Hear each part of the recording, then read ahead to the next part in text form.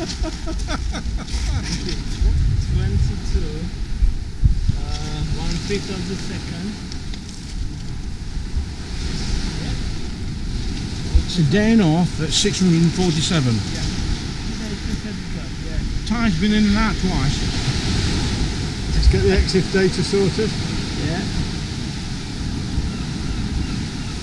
The uh, the brush was red.